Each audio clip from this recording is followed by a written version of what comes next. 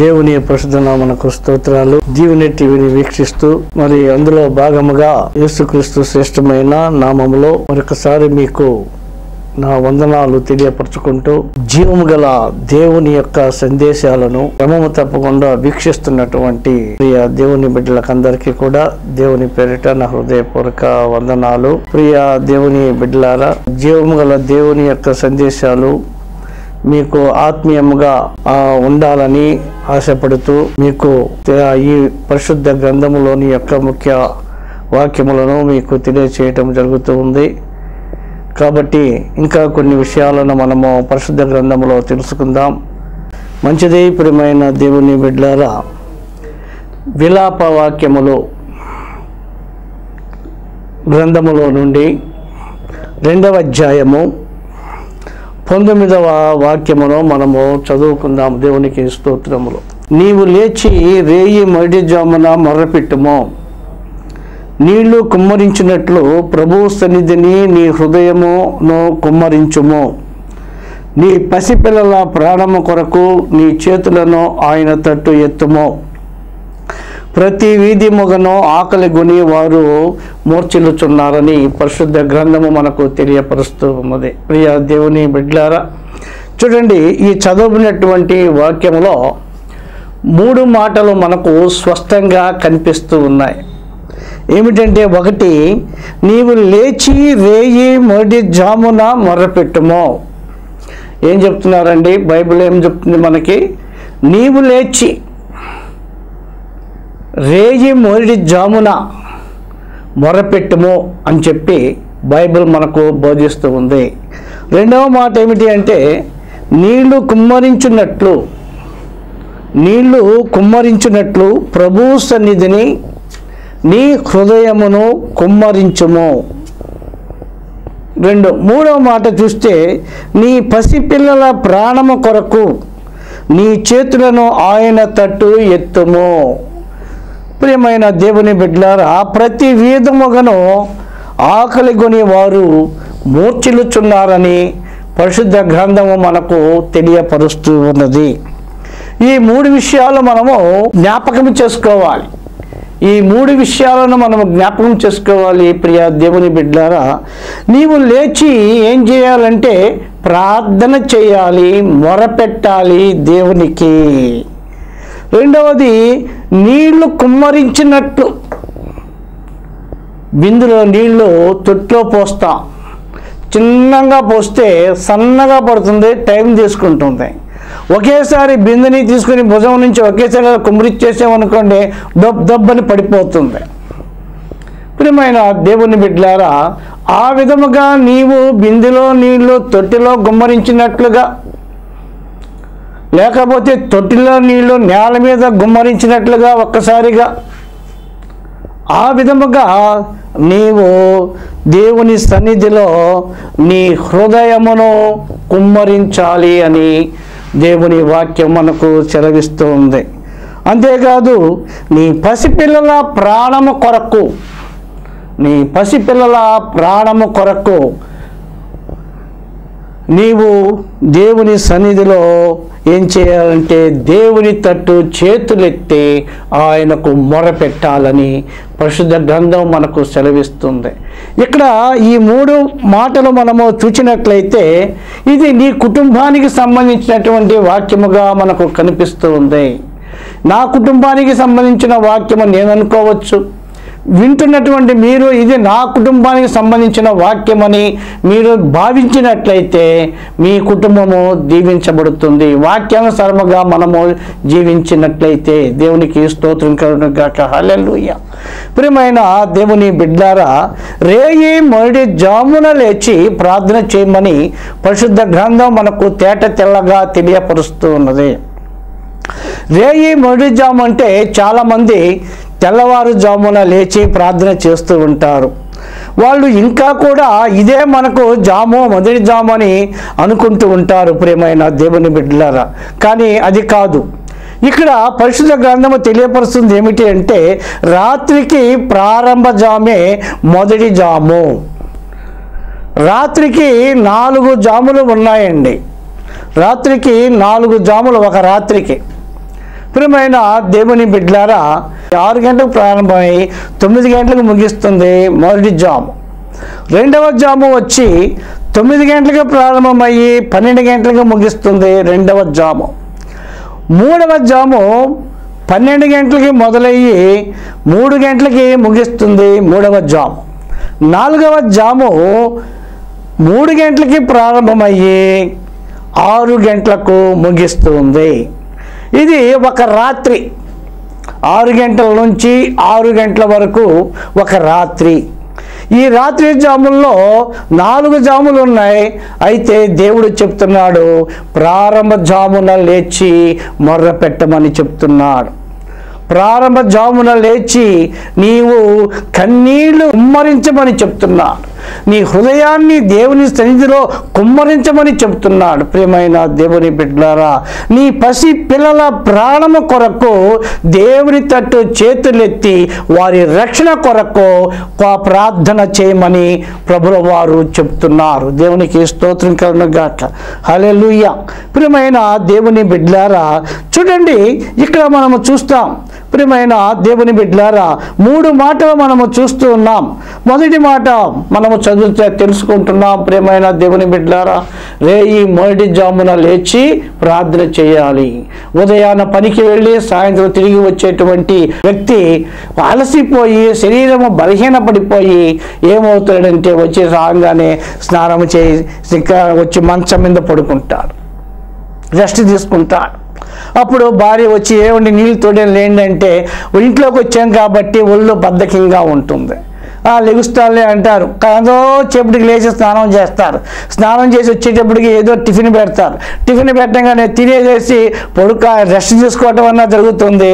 లేకపోతే ఆ ఊళ్ళో ఊళ్ళోకి వెళ్ళి ఆ స్నేహితులతో కలిసి రావటం జరుగుతూ ఉంది ప్రియమైన దేవుని బిడ్డలారా నీవు రెస్ట్ తీసుకోవడానికి నువ్వు ప్రారంభం చేసినట్లయితే నీవు మంచానికి అతుక్కుపోతా. అప్పుడు నీకు తెలియకుండానే నీ దేహము బలహీనంగా ఉంది కాబట్టి విశ్రాంతిలోనికి వెళ్ళిపోతుంది. నీకు తెలియకుండానే నువ్వు నీ దేహము బలహీన పడిపోతూ ఉంది. ప్రియమైన దేవుని బిడ్డలారా. అప్పుడు మీ భార్యగా వచ్చి లేపుతుంది. ఏమండి భోజనం టైం అయింది? ఏమండి ప్రార్థన టైం అయింది? ఏంటి లేండి ప్రార్థన చేసుకుందాం? టైం అయిందని చెప్పినప్పుడు కసేపాగమ్మ లెగుస్తాను. కసేపాగమ్మ లెగుస్తాను అని మనము ఆయాసపడుతూ బలహీనపడుతూ ఉంటాం కాబట్టి మనకి ఎవరు కూడా మరి మరి అదమాయిషం లేదు కాబట్టి ప్రియమైన దేవుని బిడ్డలారా ఆ ప్రార్థన సమయాన్ని అలా సాటు మరి చేస్తూ ఉంటాం. కాబట్టి ప్రియమైన దేవుని బిడ్డలారా బైబిల్ చెబుతుంది ప్రియమైన దేవుని బిడ్డలారా చూడండి ఆత్మ సిద్ధమే కానీ శరీరము బలహీనము అని చెబుతుంది పరిశుద్ధ గ్రంథం. ప్రియమైన దేవుని బిడ్డలారా ఆత్మ సిద్ధమే ప్రార్థన చేయడానికి. కానీ శరీరం ఏమో బలహీనంగా ఉంది అలసిపోయింది. కష్టపడిపోయిన శరీరం కాబట్టి ఈ శరీరం బలహీనంగా ఉంది. అందుకనే ప్రార్థనలోనికి ముందుకు సాగలేకపోతుంది. దేవునికి స్తోత్రం కలుగును గాక. అందుకనే దేవుడు చెప్తున్నాడు నీవు లేచి రేయి మొదటి జామున ప్రార్థన చెయ్యి. ఉదయకాలమంతా నువ్వు ఎవరితో మాట్లాడావో నువ్వు ఏమేమి పనులు చేసావో నీ ఎవరినైనా దూషించావేమో ఒకవేళ నీకు తెలియకుండానే దేవుణ్ణి దూషించావేమో అవన్నీ జ్ఞాపకం చేసుకొని ప్రభు సన్నిధిలో నీ పాపములు ఒప్పుకొని తిరుగుబాటులను ఒప్పుకొని దేవుని దగ్గర నీవు విజ్ఞాపన చేసినట్లయితే ఆ సమయంలో నీ పాపము తుడిచివేయబడుతూ ఉంది. దేవునికి స్తోత్రం కలును గాక. హల్లెలూయ.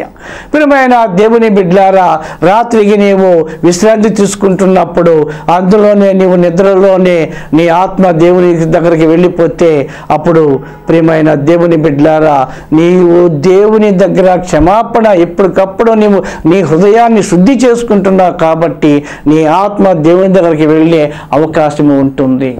ఒకవేళ ఉదయకాలం అంతా చేసినటువంటి పాపములు కానీ తిరుగుబాట్లు కానీ దేవుని మీద తిరుగుబాటు కానీ ప్రేమైన దేవుని బిడ్డలని ఒప్పుకోకపోతే అవి నీ నెత్తి మీద ఉంటాయి. అందుకనే ప్రభుల వారు నేను దీవించడానికి వచ్చినప్పుడు ఇదిగో నేను నేను దీవిస్తున్నాను కానీ నిన్ను దీవించడానికి నీ పాపములు నాకు అడ్డుగా ఉన్నవని యశయ గ్రంథములో మనం చూస్తాం. దేవునికి స్తోత్రం కలుగునగాక హలెలుయ కాబట్టి ప్రియమైన దేవుని బిడ్డారా మనము ఎప్పటికప్పుడు ఎప్పటికప్పుడు ఎప్పటికప్పుడు మనము ఏం చేయాలంటే మన ఆత్మను శుద్ధి చేసుకుంటూ ఉండాలి. అలాగే శరీరమును కూడా శుద్ధి చేసుకుని బలపరుచుకుంటూ దేవునిలో మనము ఎదిగేవారముగా ఉండాలి. నీవు లేచి రేయి మొడి జామున ప్రార్థన చేయాలి అంటే ప్రియమైన దేవుని బిడ్డలారా హాయిగా నిద్రపోయి రాత్రంతా నిద్రపోయి నాలుగు గంటలకో మూడు గంటలకో ఐదు గంటలకో లేచి ప్రార్థన చేయటం కా దేవునికి స్తోత్రం కారణంగా హల్లెలూయ.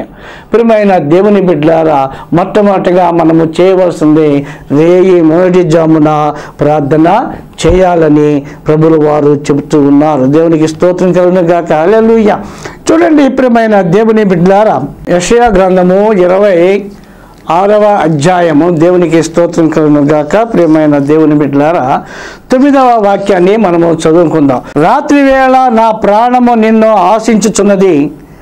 నాలోనున్న ఆత్మ ఆసక్తితో నిన్ను ఆశ ఆశ్రయించుచున్నది. దేవునికి స్తోత్రం కలను గాక హలెలుయ మన ప్రాణము దేవుని ఆశిస్తూ ఉంది కానీ మన ఆత్మ దేవుని ఆశిస్తుంది కానీ శరీరం అయితే బలహీనంగా ఉంటుంది కాబట్టి శరీర కార్యములను మనము జయించే వారముగా ఉండాలి. శరీర బద్ధకాన్ని మనము జయించే వారముగా ఉన్నప్పుడు ఆత్మ శరీరము ఏకమైనప్పుడు నీలో దేవుని యొక్క ఆనందము నీలో కలుగుతూ ఉంది.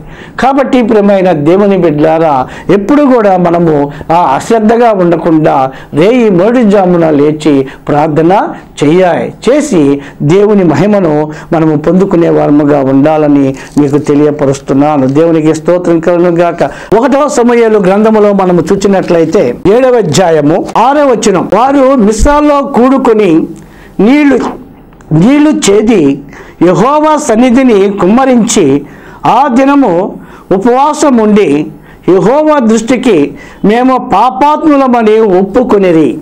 మిస్రాలో సమూయేలు ఇస్రాయేలులకు న్యాయము తీర్చు వచ్చెను. దేవునికి స్తోత్రం కలను గాక. ఇస్రాయేలుల ప్రజలు దేవునికి స్తోత్రం కలను దే బిస్మాలో ఉన్న దేవుని సన్నిధికి వచ్చి వాళ్ళు ఏం చేస్తున్నారంటే నీళ్ళు చేది యహోవా సన్నిధిని కుమ్మరించి ఆ దినము ఉపవాసం ఉండి యహోవా దృష్టికి మేము పాపాత్ములమని వాళ్ళు ఒప్పుకొనిది మిస్సాలో సమోయేలు ఇస్రాయేలీయుల కొరకు ఆయన న్యాయము తీర్చేవాడుగా అక్కడ కనిపిస్తూ ఉన్నాడు. దేవునికి స్తోత్రం కలుగుగా ప్రియమైన దేవుని బిడ్లారా ఇస్రాయేలీయులు ఆ ఫిలిస్తీన్లకు భయపడి వాళ్ళు ఎక్కడో ఎక్కడో దాక్కుని ఉంటే సమూయేలు వారి దగ్గరికి వెళ్ళి వారిని బలపరిచి దేవుని గురించినటువంటి మంచి వార్తలను వాళ్ళకు చెప్పి వాళ్ళని బలపరిచి రండి మనము దేవుని సన్నిధికి వెళ్ళి అక్కడ దేవునికి మొరపెడదాం. దేవుడు మనకు మేలు చేస్తాడు అని చెప్పి సమూయేలు వాళ్ళని బలపరిచి మిస్వాలో ఉన్న దేవుని సన్నిధికి వచ్చి వాళ్ళు ప్రార్థన చేస్తూ ఉంటే ఫిలిస్తీన్లు ఆలోచన చేసి ఇదిగో వీళ్ళందరూ కూడా మిస్పాలో ఉన్న దేవుని సన్నిధిలో ఉన్నారు. ఒక్కచోటే అందరూ మనకి దొరికారు. కాబట్టి మనమందరం వెళ్ళిపోయి వాళ్ళని తునాతునకలు చేసేద్దాం అని చెప్పేసి ఆలోచన చేసుకుని వాళ్ళు వస్తూ ఉండగా ఈ వార్త మందిరంలో ఉన్న ఇస్రాయేళ్ళకు తెలిసి వాళ్ళు ప్రార్థన చేస్తున్నారు. దేవునికి స్తోత్రం కలుగుగాక హల్లెలూయ. ప్రియమైన దేవుని బిడ్డలారా వాళ్ళు ప్రార్థన చేస్తూ ఉండగా గొప్ప విజయాన్ని వాళ్ళు పొందుకున్నారు. దేవునికి స్తోత్రం కలుగుగాక హల్లెలూయ. చూడండి వీళ్ళు భయముతో దేవుని దగ్గర ప్రార్థన చేస్తున్నారు ఇస్రాయేల్ ఫిలిస్తీన్ ఇస్రాయిల్ చంపివేస్తారని వాళ్ళు వణుకుతో దేవుని దగ్గర ప్రార్థన చేస్తూ ఉన్నారు. అయితే సమూహలు మాత్రము మీరు భయపడవద్దు ధైర్యంగా ఉండండి. మన దేవుడు మనకు ఉన్నాడు. ఆయన మనకు విజయాన్ని ఇస్తాడని చెప్పినప్పుడు అప్పుడు ఒక మేకపిల్లను తీసుకుని వచ్చి వధించి దేవునికి అర్పిస్తూ ఉండగా దేవుడు వీరి మొరను విని ప్రేమైన దేవుని బిడ్డలారా ఇస్రాయేళ్ళకు జయాన్ని కూర్చోడానికి పదవ వాక్యంలో మనం చూస్తే సమయలు దహన బలి అర్పించుచుండగా ఫిలిస్తీన్లు యుద్ధము చేయుటకై ఇస్రాయేల్ మీదకి వచ్చింది అయితే యెహోవా ఆ దినమున ఫిలిస్తీన్ల మీద మెండుగా ఉరుములు ఉరిమించి వారిని తారుమారు చేయగా వారు ఇస్రాయేల్ చేత ఓడిపోయిరి. దేవునికి స్తోత్రం. ఎంత గొప్ప విజయమో చూడండి ప్రియమైన దేవుని బిడ్డలారా. నీ ముందు యహోవా ఉన్నాడన్న సంగతి. నీ ముందు నీవు సేవించుచున్న దేవుడు సజీవుడైనటువంటి దేవుడు ఈ సర్వ సృష్టిని సృష్టించినటువంటి దేవుడు నీ ముందు ఉన్నాడన్న సంగతి మనము మర్చిపోకుండా మనము ధైర్యముగా దేవుని సన్నిధిలో ప్రార్థన చేస్తే గొప్ప విజయాన్ని మనము చూస్తామని పరిశుద్ధ గ్రంథము మనకు తెలియపరుస్తూ ఉన్నది కాబట్టి ప్రియమైన దేవుని బిడ్డలారా ఇక్కడ మనము చేస్తున్నా చూడండి పదకొండవ వచ్చిన ఇస్రాయేల్ మిస్ మిస్వా మిస్బాలో నుండి బయలుదేరి బెత్కారు వరకు ఫిలిస్తీన్లను తరిమి హతము చేసిరి. అప్పుడు సమోయేలు ఒక రాయి తీసి మిస్బాకు నో షేరుకును మధ్య దానిని నిలిపి ఇంతవరకు యహోవా మనకు సహాయము చేసినని చెప్పి దానికి ఎబినేజరు అను పేరు పెట్టాను. దేవునికి స్తోత్రం కలుగుగా హల్లెలూయ. ప్రియమైన దేవుని బిడ్డల దేవుడు మనకు తోడుగా ఉన్నాడు. దేవుడు మనకు అండగా ఉన్నాడు. దేవుడు మనకు దుర్గముగా ఉన్నాడు. కాబట్టి ప్రియమైన దేవుని బిడ్డారా మనము దేవుని యందు విశ్వాసము కలిగిన వారమై ఉండాలని మీకు తెలియపరుస్తూ ఉంటున్నాను. చూడండి కీర్తన గ్రంథంలో మనము చూచినట్లయితే ప్రియమైన దేవుని బిడ్డారా అరవై రెండవ కీర్తన ఎనిమిదవ వాక్యాన్ని మనము చదువుకుందాం. ఎన్నులారా ఎల్లప్పుడూ ఆయన యందు నమ్మకించుడి ఆయన సన్నిధిని మీ హృదయములు కుమ్మరించుడి. దేవుడు మనకు ఆశ్రయము. దేవుడు మనకు ఆశ్రయ దుర్గమై ఉన్నారు. కాబట్టి ప్రియమైన దేవుని బిడ్డలారా మనము దేవుని యందు నమ్మకం ఉంచిన వారమై ఉండాలని మీకు తెలియపరుస్తూ ఉంటున్నాను. దేవునికి స్తోత్రం కనుగాక చూడండి మొదటి సమయాలు గ్రంథంలోనే ప్రియమైన దేవుని బిడ్డలారా ఒకటవ అధ్యాయము పన్నెండవ వాక్యాన్ని మనము చదువుకుందాం. మరలా దేవునికి స్తోత్రం. అక్కడ ఒక ప్రార్థనా పొర్రాలు మనకు కనిపిస్తూ ఉంది. ఆమె పేరు హన్నా. ఆమె పేరు అన్న దేవునికి స్తోత్రం కలుగును గాక. హల్లెలూయ. ప్రియమైన దేవుని బిడ్డలారా ఆ తల్లిగారు పిల్లలు లేనిదై బహు దుఃఖాక్రాంతురాలై దేవుని సన్నిధిలో విలపిస్తూ ఉంది. ఇక్కడ ఆ దేవుని సన్నిధిలో హన్న హృదయం కుమ్మరిస్తుంటే ఏలీ గారైన దైవజనుడు ఆమె దగ్గరికి వచ్చి హన్న ఎందుకు నీవు మత్తురాలవై ఉన్నావు? ఎందుకు మద్యాన్ని అధికంగా తీసుకున్నావు? ఎందుకు నీవు ఆ విధముగా నీవు తూలిపోతున్నావు? ఆ విధముగా నీవు మాటలు బయటికి రాకుండా నువ్వు ఎందుకు ఆ విధంగా మాట్లాడుకుంటున్నావు? నీలో నీవే పిచ్చివాడు కానీ మాట్లాడుకున్నట్లుగా తాగుబోతు కానీ మాట్లాడుకున్నట్లుగా నువ్వేంటి అలా మాట్లాడుకుంటున్నావు అని ప్రియమైన దేవుని బిడ్డలారా అన్నమ్మ గారిని మరి ఆమెను హెచ్చరిస్తూ ఉన్నప్పుడు ఆమె చెబుతున్న మాట అది కాదు నా ఏలినవాడా. నేను మనో దుఃఖము గల దాననై ఉన్నాను నేను ద్రాక్షరసమునైనను మద్యమునైనను పానము చేయలేదు కానీ నా ఆత్మను యహోవా సన్నిధిని కుమ్మరించుకొనిచున్నాను. చూడండి ఎంత దీనముగా చెప్తుంది అదే మనమైతే. ఏంటయ్యా తాగుబోతులా కనిపిస్తున్నానా? నేనేమన్నా మత్తుని తీసుకున్న వాళ్ళ కనిపిస్తున్నానా? నేనేమన్నా ఏంటి నీ దృష్టిలో ఎలా కనిపిస్తున్నానని చెప్పేసి కొంతమంది అడగవచ్చు. కానీ ప్రియమైన దేవుని బిడ్డలారా ఈ తల్లిగారు మాత్రము అలా అనకుండా ఆ జేలి భక్తుడు దేవునికి స్తోత్రం కలుగుగాక యాజకుడి దగ్గరికి వచ్చినప్పుడు ఆయనతో సమాధానముగా మాట్లాడుతూ ఉంది. నెమ్మదిగా మాట్లాడుతూ ఉంది. ప్రియమైన దేవుని బిడ్డలారా చూడండి. అది కాదు నా ఏలినవాడా. తన ఆత్మను దేవుని సన్నిధిలో కుమ్మరించడానికి గల కారణం ఏమిటి అంటే దేవునికి స్తోత్రములు ఆమెకు సంతానము లేదు. ఆ సంతానము కోసము దేవునికి స్తోత్ర దేవుని సంధిలో కుమ్మరించగా ఏలి గారు చెప్తున్నాడు నీ సేవ నీ సేవకుర నన్ను పనికి మాలిన దానివని ఎంచవద్దు. అత్యంతమైన కోప కారణమును బట్టి బహుగా నిట్టూర్పులు విడిచుచు. నాలో నేను దీన్ని చెప్పుకొనుచున్నాను. అంతటా ఏలి నీవు క్షేమముగా వెళ్ళము. ఇస్రాయేలు దేవునితో నీవు చేసుకునిన మనవిని ఆయన దయచేయునుగాక అని ఆమెతో చెప్పగా ఆమె అతనితో నీ సేవకురాలైన నేను నీ దృష్టికి కృపనందు కృపనందుదును గాక అనేను. దేవునికి స్తోత్రం కలను గాక. ప్రియమైన దేవుని బిడ్లారా చూడండి కృప నొందింది దేవుని దృష్టిలో. ప్రియమైన దేవుని బిడ్లారా దేవుని దాసుని దృష్టిలో కూడా కృప నొందినది ఆమె సమాధానముతో వెళ్ళినది. మరుసటి సంవత్సరానికి ఆమె కౌగిట కుమారుడు పుట్టాడు. దేవునికి స్తోత్రం కలుగును గాక. ప్రియమైన దేవుని బిడ్డలారా చూడండి ఆయనే ఈ సమూయేలు. దేవునికి స్తోత్రం కలుగును గాక.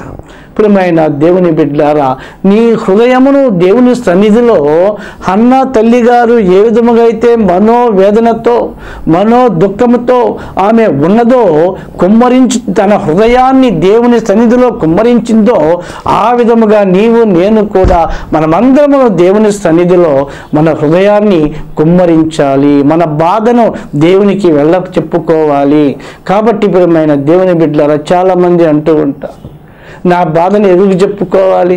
అక్క నువ్వు వినక్క కొంతన్నా నా బాధ తీరుద్ది అని అనుకుంటాను కానీ ప్రియమైన దేవుని బిడ్డలారా వాళ్ళు వింటారే కానీ బాధలు మాత్రమో తీరవు. నేను బాధలు తీర్చే వాణి దగ్గరికి నీవు వచ్చి నీవు కన్నీరు కారుస్తూ విన్నపాలు విన్నవించుకున్నట్లయితే తప్పనిసరిగా దేవుడు నీకు ఆశ్రయదుర్గముగా ఉండి నీకు ఏది అవసరమో అది ఆయన ఇచ్చి నిన్ను దీవిస్తాడు. దేవునికి స్తోత్రం కలుగాక హలెలుయ్య ప్రియమైన దేవుని బిడ్డలారా కాబట్టి మనము దేవుని ఎడల విశ్వాసము కలిగిన వారమై ఉండాలని మీకు తెలియపరుస్తూ ఉంటున్నాను. చూడండి ఏబు గ్రంథములో దేవునికి స్తోత్రం కలుగును గాక. దేవుని బిడ్డలారా ఎనిమిదవ అధ్యాయంలో మనం ఒక మాట చూద్దాం. ఇక్కడ దేవుడు చెప్తున్న మాట ఏమిటి అంటే ఐదవ వచనాన్ని మనం చూద్దాం దేవునికి స్తోత్రములు. నీవు జాగ్రత్తగా దేవునిని ఎదికిన ఎడలా? సర్వశక్తుడగు దేవుని బతిములాడు కొనిన ఎడల నీవు పవిత్రుడవై యథార్థవంతుడవైన ఎడల నిశ్చయముగా ఆయన నీ యందు శ్రద్ధ నిలిపి నీ నీతికి తగినట్లుగా నీ నివాస స్థలమును వర్ధిల్ల చేయను అప్పుడు నీ స్థితి మొదట కొద్దిగా ఉండినను తుదకు నీవు మహాభివృద్ధి నందుదువు. దేవునికి స్తోత్రం కలుగుగాక ప్రియమైన దేవుని బిడ్లారా ఎంత గొప్ప విషయమో మనము చూస్తూ ఉన్నాం. నీవు ఆశ్రయించబడాలి అంటే నీవు రేయి మొదటి జామున లేచి దేవుని సన్నిధిలో ప్రార్థన చేయాలి. అంతేకాదు నీ పాపములు ఒప్పుకొని దేవుని తట్టు నీ యొక్క దృష్టిని మలుచుకొని ఆయనే నా దేవుడు నా సమస్యలు తీర్చేది ఆయనేనని నీవు నమ్మి దేవుని యందు భయభక్తులు కలిగి జీవించి నీ హృదయాన్ని ఆయన సన్నిధిలో కుమ్మరించినట్లయితే ఈ ఏబుగా గ్రంథంలో మరి ఎనిమిదవ అధ్యాయము. ప్రేమైన దేవుని బిడ్డలారా ఐదు ఆరు ఏడు వచ్చినాలు చెప్పినట్లుగా మనము దీవించబడతాం. దేవునికి స్తోత్రములు కలునుగాక హలెలుయ లోక సువార్త ఇరవై మూడవ అధ్యాయములో ఒక మాటను చెబుతున్నాడు. చూడండి. ఇరవై ఏడో వాక్యం చదువుతాను. ఇరవై ఏడు ఇరవై ఎనిమిది. గొప్ప జన సమూహము ఆయనను గూర్చి రొమ్ము కొట్టుకునిచ్చు దుఃఖించుచు చాలామంది స్త్రీలను ఆయనను వెంబడించిరి. యేసు వారి వైపు తిరిగి ఎరుసలేము కుమార్తెలారా నా నిమిత్తము ఏడవకండి. మీ నిమిత్తమును మీ పిల్లల నిమిత్తమును ఏడువుడి అని వారికి బోధిస్తూ ఉన్నాడు దేవునికి స్తోత్ర. ఆయన శ్రమ పడుతూ ఉన్నారు సిలువను మోస్తూ ఉన్నారు వారు కొరలతో కొడుతూ ఉన్నారు రక్తము కారిపోతూ ఉంది. ఆయన పాదములు ఎక్కడ అడుగు పెడితే అక్కడ రక్తమయమైపోతూ ఉంది. తల నుండి అరికాలు వరకు రక్తము కారిపోతూ ఉంది. ప్రేమైన దేవుని బిడ్డారా అంత బాధలో కూడా ఆయన ఎవరి గురించి ఆలోచన చేస్తున్నాడంటే మన కోసమే. ప్రియమైన దేవుని బిడ్డ నీ కోసమే ఆయన బాధపడుతూ ఉన్నాడు. నీ శ్రమ పడుతూ ఉన్నాడు. ఆ బాధలో కూడా నీ కోసం నీ కుటుంబం కోసం నీ భర్త కోసం నీ భార్య కోసం నీ యొక్క ఆ బిడ్డల కోసం ప్రేమైన దేవుని బిడ్డలారా ఆయన అలమటించిపోతున్నాడు. అయ్యో నా బిడ్డలు పాపంలో మునిగిపోతున్నారు. వాళ్ళు మోక్షానికి రావాలి అనే ఆశ కలిగి అంత బాధలో కూడా ప్రభుల వారు చెప్తున్న మాట ఏంటంటే అమ్మలారా నా కొరకు ఎడవకండి మీ కొరకు మీ కొడు మీ బిడ్డల కొరకు ఏడవండి. వారు పాపములో పడిపోకుండా వారు యథార్థముగా జీవించడానికి నన్ను సేవించుకుంటూ జీవించి నా రాజ్యానికి చేరడానికి మీరు బాలుడు నడవలసిన త్రోవన వానికి నేర్పండి. అప్పుడు పెద్దవాడైనప్పుడు దాని నుండి తొలగిపోడు. మీరు ఇప్పుడు నుండే మీ బిడ్డలకు మీరు నేర్పండి. యేసుని గురించి వార్త పరలోక సువార్త వాళ్ళకి తెలియపరచండి. దేవుని గురించిన వార్త వాళ్ళకి తెలియపరచండి. ఆ పని చేసి నీ బిడ్డలను నరకానికి పోనివ్వకుండా కాపాడుకోండి అని నీ భర్త నరకానికి పోకుండా కాపాడుకోండి అని నీ భార్య నరకానికి పోకుండా కాపాడుకోండి అని అందరికీ చెప్తున్నారు. దేవునికి స్తోత్రం కాక ఎంత ప్రేమమయుడో చూడండి. ఎంత దయామయుడో చూడండి. ఎంత కరుణామయుడో చూడండి. ప్రేమైన దేవుని బిడ్డారా నిన్ను నన్ను మనందరినీ కూడా ఏం చేస్తున్నాడంటే ప్రేమిస్తున్నాడు. ప్రేమైన దేవుని బిడ్డారా దేవుని ప్రేమ అపారమైనది. దేవునికి స్తోత్రం కలుగుగాక ఆయన ప్రేమను మనము వర్ణించలేనిది. దేవునికి స్తోత్రం కలుగుగాక ఎంత అంత అని చెప్పలేనిది దేవునికి స్తోత్రములు కలుగుగాక కాబట్టి ప్రియమైన దేవుని బిడ్డలారా దేవుని ప్రేమలో మనము ముందుకు సాగిపోయే వారముగా ఉండాలి. నీ పిల్లల కొరకు నీవు కానీ కన్నీరు కార్చాలి. కార్చకపోతే చూడండి ప్రియమైన దేవుని బిడ్డలారా ఇంకొక వాక్యాన్ని చూద్దాం. సామెతల గ్రంథంలో మనము చూద్దాం దేవునికి స్తోత్రములు కలనుగాక ప్రియమైన దేవుని బిడ్లారా సామెతల గ్రంథము ఏడవ అధ్యాయము. ఎనిమిదవ వాక్యమును మనము చదువుకుందాం. సంధ్య వేళ ప్రొద్దు కుంగిన తరువాత చిమ్మ చీకటి గల రాత్రి వేళ వారు జారస్త్రీ సందు దగ్గర నున్న వీధిలో తిరుగుచుండెను. దాని ఇంటి మార్గమున నడుచుచుండెను. అంతటా వేషావేషము వేసుకుని కపటము గల స్త్రీ ఒకతే వానిని ఎదుర్కొన వచ్చెను. అది బొబ్బలు పెట్టినది. అది ఇబ్బంది పెట్టినది. దేవునికి స్తోత్రం కలను గాక. హల్లెలూయ. ప్రియమైన దేవుని బిడ్డలారా నీ బిడ్డలను గనక నీవు రేయి మొదటి జామున వారిని సమకూర్చుకొని వాళ్ళని ఎటు పోనివ్వకుండా తీసుకొని వచ్చి కూర్చొని ప్రార్థన చేయాలి. అదే నీవు నీ భర్త నీ పిల్లలు కలిసి కుటుంబ ప్రార్థన చేసుకున్నప్పుడు ఆ కుటుంబ ప్రార్థన మనలను కాపాడుతూ ఉంది.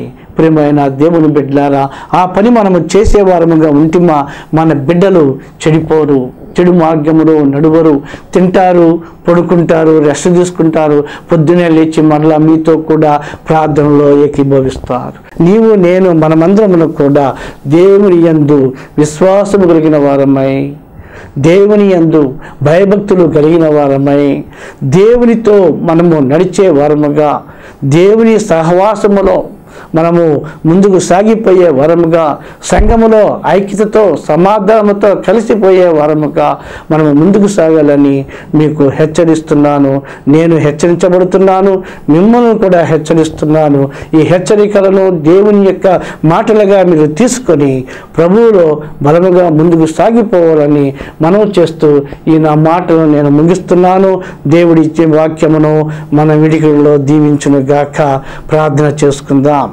దయగలిగిన మా ప్రభువ కృపగలిగిన మా తండ్రి మీకు వందనాలు స్థులు స్తోత్రాలు తండ్రి. అయా వాక్యం సెలవిచ్చినట్లుగా మా యొక్క బ్రతుకులను మేము మలుచుకొని ప్రభా మా యొక్క ఆ అనుదిన ప్రార్థనలో ప్రభా నీ నామను జ్ఞాపకం చేసుకుంటూ మా అనుదిన పాపంలో మేము పరిహరింపజేసుకుంటూ ఆయన నీ మీరిచ్చు దీవెనలు మేము పొందుకుంటూ మాకు ముందు మాకు మీరు ఇచ్చిన ఆయుష్ను అనుభవిస్తూ మీరిచ్చిన బహుమానాలను మేము పొందుకుంటూ తండ్రి నీ నామను మేము నిత్యము గణపరుచుకుంటూ ముందుకు సాగిపోయే భాగ్యమును మాకందరికీ దయచేయమని ఏసయ్య పేరట అడిగి వేడుకుంటున్నాను తండ్రి. ఆమెన్. ప్రియమైన దేవుని బిడ్డలారా మీ అందరికీ కూడా వందనాలు. మరి వాక్యము మీకు అందుబాటులో ఉన్నది కాబట్టి వాక్యాన్ని వీక్షించినటువంటి మీ అందరూ కూడా దేవుని కొరకు మీరు నిలబడాలని మనం చేస్తూ మీకు మరొక్కసారి నా వందనాలు చెప్పి సెలవు తీసుకుంటున్నాను. దేవుడు మనందరినీ దీవించునుగాక. ఆమెన్.